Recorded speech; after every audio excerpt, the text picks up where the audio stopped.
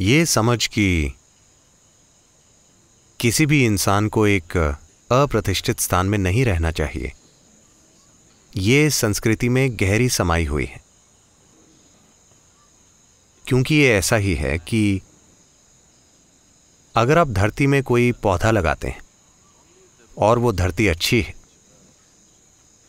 तभी फल और फूल निकलेंगे। जिस धरती में वो पेड़ लगा हुआ है अगर वो समृद्ध नहीं है, जीवन को थामे रखने के काबिल नहीं है तो फूल और फल नहीं आएँगे। अगर वे आते भी हैं तो बहुत कम होंगे। पौधा कभी भी पूरी तरह से विकसित नहीं होगा। उस पौधे में कभी भी पूरी तरह फल नहीं आएँगे। इसलिए जीवन के इन पहलुओं को हमने हमेशा बहुत ज़्यादा ज़रूरी माना है। आप जो खाते हैं, आप जो काम करते हैं सिर्फ़ वही महत्वपूर्ण नहीं है। आप किस तरह के स्थान में रहते हैं?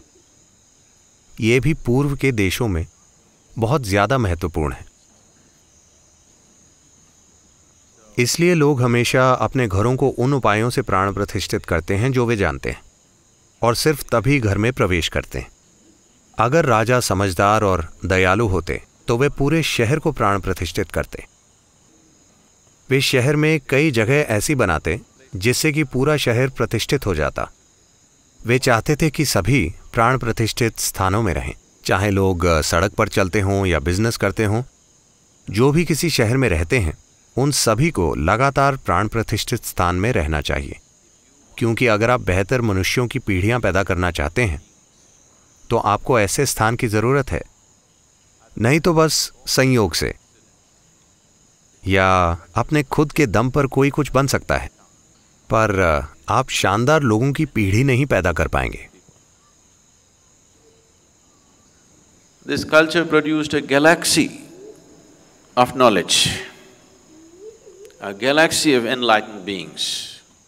इस संस्कृति ने ज्ञान का भंडार पैदा किया है आत्मज्ञानियों का एक सैलाब हर पीढ़ी में ऐसा हुआ है सिर्फ़ इसलिए कि उन्होंने ऐसे कुछ पहलुओं का ध्यान रखा इस ग्रह पर किसी भी दूसरी जगह लोगों की किसी भी पीढ़ी ने ज्ञान की ऐसी ऊंचाइयों को नहीं छुआ, जैसा कि इस संस्कृति ने छुआ।